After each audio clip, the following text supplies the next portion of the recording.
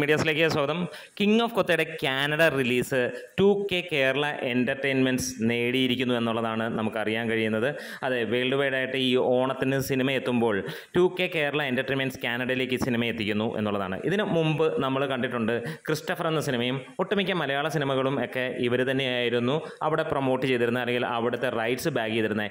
ഇപ്പോൾ two K Kerala entertainments എന്ന team ഈ ഒരു സിനിമ ഏറ്റെടുക്കുമ്പോൾ ഇതുവരെ മലയാള സിനിമയുടെ ചരിത്രത്തിൽ ലഭിച്ച ഏറ്റവും കൂടുതൽ എമൗണ്ടിനാണ് അവിടുത്തെ റൈറ്റ്സ് വിറ്റ് പോയതെന്നാണ് അറിയാൻ കഴിയുന്നത്. അത് എത്ര എമൗണ്ട് ആണ് കാര്യങ്ങളൊന്നും അറിയില്ല. എന്തായാലും ഒരു വൂപ്പിംഗ് എമൗണ്ട് എന്ന് തന്നെയാണ് കാണുന്നത്. ഏറ്റവും ഗംഭീരമായിട്ടുള്ള ഒരു കാര്യമെന്ന് പറഞ്ഞു കഴിഞ്ഞാൽ കിങ് ഓഫ് കൊത്ത അനൗൺസ് ചെയ്ത് അല്ലെങ്കിൽ ഒരു സിനിമ തിയേറ്ററിലേക്ക് വരുന്നു എന്ന് ആറു മാസങ്ങൾക്ക് മുമ്പ് അനൗൺസ് ചെയ്യുകയും കൃത്യമായ ഡേറ്റ് ഇട്ട് വെക്കുകയും ഒക്കെ ചെയ്തു. അതിനോടൊപ്പം തന്നെ പല സിനിമകൾക്കും മലയാളത്തിലെ പ്രത്യേകിച്ച് മമ്മൂട്ടി സിനിമകൾക്ക് ഉണ്ടായ കുറവുകൾ അവിടെ നികത്തുന്ന ഒരു കാര്യം കണ്ടു. മമ്മൂട്ടി സിനിമകൾ മാത്രമല്ല ഒട്ടുമിക്ക അല്ലെങ്കിൽ തൊണ്ണൂറ്റി ഒൻപത് ശതമാനം മലയാള സിനിമകൾക്ക് നേരിടുന്ന ഒരു പ്രശ്നമുണ്ടായിരുന്നു. നല്ല മാർക്കറ്റിംഗ് എങ്ങും കിട്ടുന്നില്ല എന്നുള്ളത്. കാരണം പലപ്പോഴും സിനിമ റിലീസ് ചെയ്യുന്നതിന് പത്തോ ഇരുപതോ ദിവസം മുമ്പാണ് ഈ ഒരു കാര്യങ്ങളിലേക്ക് കടക്കുന്നതെന്ന് നമ്മൾ നേരത്തെ കണ്ടിട്ടുണ്ട്.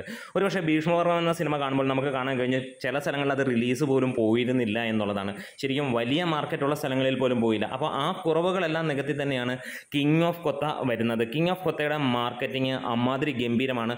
ഒരുപാട് സമയം തന്നെ അവർക്ക് അതിന് കിട്ടിയിട്ടുണ്ട്. ഇനിയും സിനിമ ഇറങ്ങാൻ കിടക്കുന്നു ഒന്നര മാസത്തോളം കിടക്കുമ്പോഴും അവർക്ക് നല്ല ഒരു ഗ്യാപ്പാണ് കിട്ടിയത്. അതെ ഒരു സിനിമ മാർക്കറ്റ് ചെയ്യുന്ന ഈ തരത്തിലായിരിക്കണം. പ്രത്യേകിച്ച് കുഞ്ഞൻ മലയാളം സിനിമകൾ ഇന്റർനാഷണൽ ലെവലിലേക്ക് ചെല്ലുമ്പോൾ നല്ല മതിപ്പുള്ള സിനിമകളാണ് നമുക്ക് എല്ലാവർക്കും അറിയാം. പക്ഷേ അത് എത്തുമ്പോൾ ഒരുപാട് വൈകുന്നു. ഒ ടി ടി വന്നത് വലിയ സഹായമായെന്ന് എല്ലാവർക്കും അറിയാം. കാരണം മലയാള സിനിമകൾ എല്ലാവരും കാണാൻ തുടങ്ങിയത് ശരിക്കും പറഞ്ഞാൽ ഒ ടി ടി വന്നതിന് ശേഷം തന്നെയാണ്.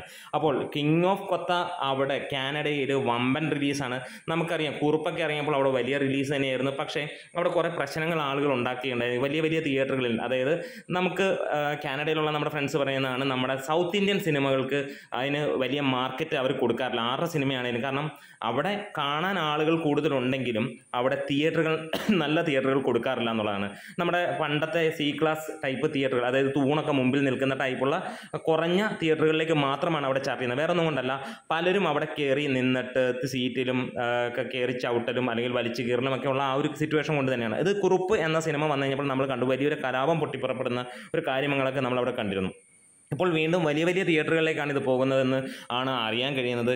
ടു കെ കേരള എന്റർടൈൻമെന്റ്സ് ഏറ്റെടുക്കുമ്പോൾ ഇതൊരു വലിയ എമൗണ്ടിന് തന്നെയാണ്. മലയാള സിനിമയുടെ ചരിത്രത്തിലെ ഏറ്റവും വലിയ എമൗണ്ട് എന്നാണ് അറിയുന്നത്. അതിന്റെ ഡീറ്റെയിലും കാര്യങ്ങളുമൊക്കെ ആയിട്ട് വരുമ്പോഴത്തേക്ക് നമുക്ക് വീണ്ടും ഒരു വീഡിയോയുമായിട്ട് വരാം. നമ്മുടെ വീഡിയോസ് ഇഷ്ടമെങ്കിലും സപ്പോർട്ട് ചെയ്ത് തരണം. Grey medias